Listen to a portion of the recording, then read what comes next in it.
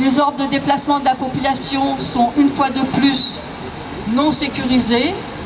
On a demandé à la population du nord de la bande de Gaza de se déplacer.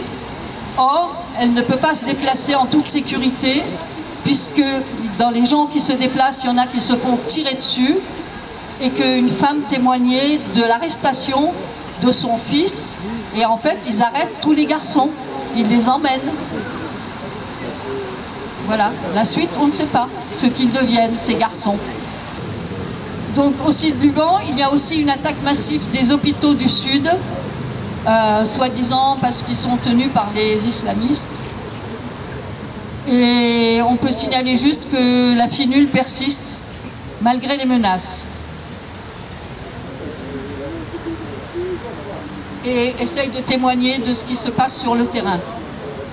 Donc comme vous le savez, au Liban, il y a tout de même des journalistes et la finule qui peuvent apporter quelques témoignages concrets, ce qui n'existe pas pour la bande de Gaza, puisque aucun journaliste ne peut y entrer.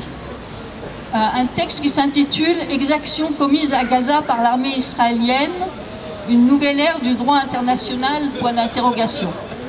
Le texte concerne en fait le parquet fédéral belge, au départ, qui a ouvert une enquête pour des soupçons de crimes de guerre commis à Gaza par un sniper belgo-israélien. Ce journaliste, il a mis en exergue qu'en fait, il y avait une troisième source d'information que personne n'utilisait, et il a décidé, lui, de confronter les vantards israéliens, les soldats euh, qui se sont vantés de leurs exactions, à retrouver les mêmes situations par rapport aux images qui sont là, pour retrouver dans Gaza à quel moment ça se passait avec les images fournies par les Palestiniens.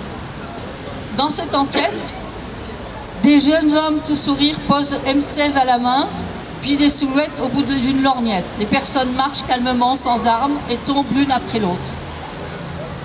Ça, c'est la vidéo de la première élimination de mon camarade, affirme presque avec fierté le soldat américano-israélien interrogé par Younis Tiraoui, c'est le journaliste palestinien.